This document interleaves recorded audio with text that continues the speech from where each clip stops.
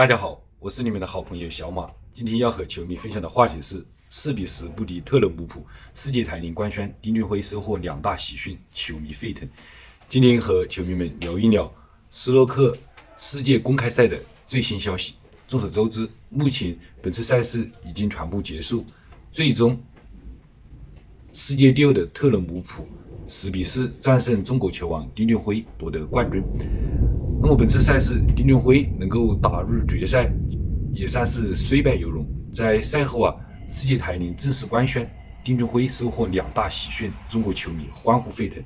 那么丁俊晖在本次赛事中夺得亚军之后，将会收获多达七点三万英镑的豪华奖金，折合人民币大约六十七万元左右。特勒姆普夺冠之后，将会收获十七万英镑的奖励。在此啊。我们也表示祝贺。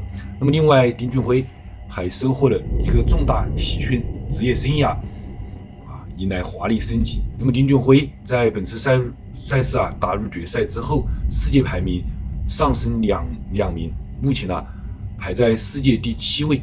可以看出啊，老将丁俊晖职业生涯啊迎来了全新的开始。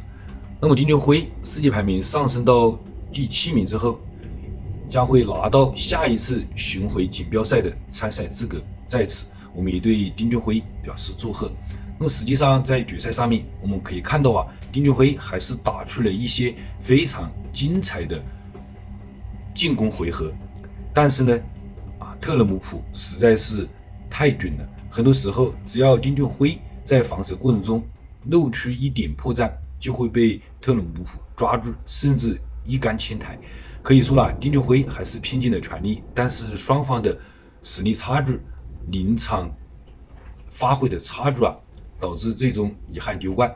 作为中国的球迷，我们看到啊，丁俊晖能够在主场强势晋级决赛啊，球迷们也是欢呼沸腾。最后啊，我们也是祝福丁俊晖未来的职业生涯一帆风顺，中国斯诺克加油！今天的分享到此结束，我们下次再见。